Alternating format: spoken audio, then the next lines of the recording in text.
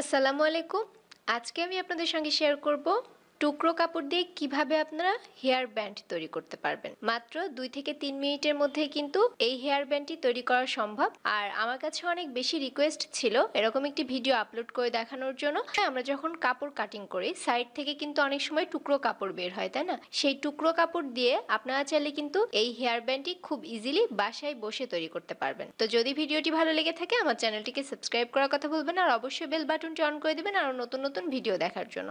আমি এখানে hair rubber ব্যান্ডটি তৈরি করার জন্য এক টুকরো কাপড় নিয়েছি। তো কাপড়টির চওড়া এবং লম্বা কতটুকু নিয়েছি আপনাদেরকে দেখিয়ে দিচ্ছে। আমি এখানে কাপড়টির লম্বা নিয়েছি বিশ ইঞ্চি পরিমাণ এবং চওড়া নিয়েছি প্রায় চার ইঞ্চি পরিমাণ। তো এখন আমরা কাপড়টিকে এভাবে ভাজ করব একবার। তারপর কাপড়টিকে মাঝখান দিয়ে উল্টো সাইডে এভাবে ভাজ করতে হবে, ঠিক আছে? দেন সাইড থেকে আমাদের একটি সেলাই বসিয়ে আটকে দিতে হবে।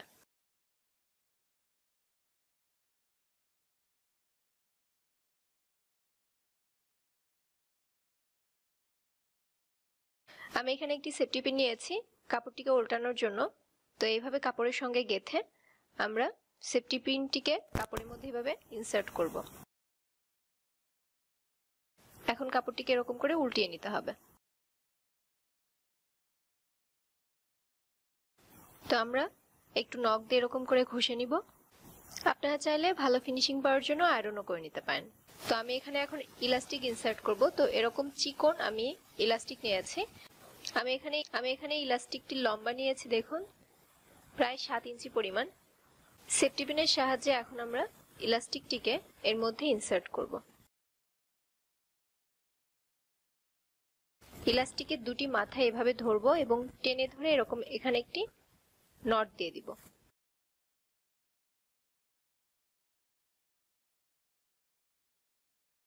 কাপড়টিকে ভালো করে সেট করে নিতে হবে। এবং একটু খেয়াল করে দেখুন এই যে খোলা যে অংশটি রয়েছে, এই অংশটিকে এই বন্ধ অংশের মধ্যে এভাবে ইনসার্ট করব। এখন আমরা সুই সুতা দিয়ে এতটুকু অংশ সেলাই করে দিব।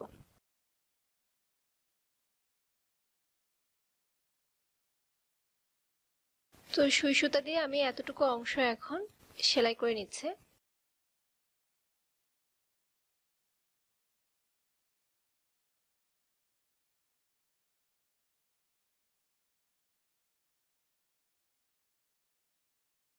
যখন আমরা একদম লাস্টে আসব, তখন কয়েকটি ভালো করে নট দিয়ে দিতে হবে।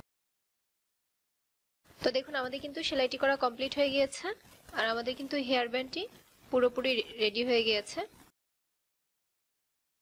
যাদের বাসায় সেলাই মেশিন নেই, আপনারা চাইলে কিন্তু এই হেয়ার ব্যান্ডটি হাতেও তৈরি করে নিতে পারবেন। তো একই পরিমাণ লম্বা এবং চড়া নিয়ে আমি একটি কাপড় নিয়েছি। তো কাপড়টিকে ঠিক একই রকম ভাবে আমি ভাঁজ করে সাইড থেকে সেলাই করে নিচ্ছি হাতে। তো এই যাদের বাসায় সেলাই মেশিন নেই, আপনারা কিন্তু চাইলে হাতে এইভাবে সেলাই করে নিতে পারেন।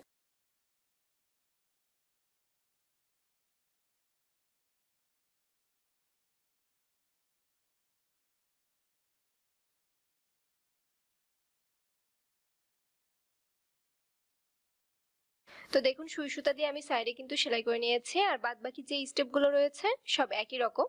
আমাদের কাপড়টিকে শুধু সাইডে নিয়ে আসতে হবে আর এর মধ্যে ইলাস্টিক ইনসার্ট করতে হবে, তাহলে কিন্তু আমাদের হেয়ার রাবার ব্যান্ডটি তৈরি হয়ে যাবে। তো দেখুন, আমি একই রকম ভাবে সবগুলো হেয়ার ব্যান্ড কিন্তু তৈরি করে নিয়েছি। তো আপনারা যদি বাসায় আমার মতো করে ট্রাই করেন, ইনশাল্লাহ আপনারাও কিন্তু খুব ইজিলি এই কাজটি করতে পারবেন। তো আশা করি আজকের ভিডিওটি আপনাদের ইনশাল্লাহ খুব ভালো লেগেছে। তো আজকে এই পর্যন্ত আগামী দিন আরও একটি নতুন ভিডিও নিয়ে চলে আসব আপনাদের সামনে। ততদিন পর্যন্ত সবাই ভালো থাকবেন, সুস্থ থাকবেন, নিরাপদে থাকবেন এবং আমার জন্য দোয়া করবেন। ধন্যবাদ।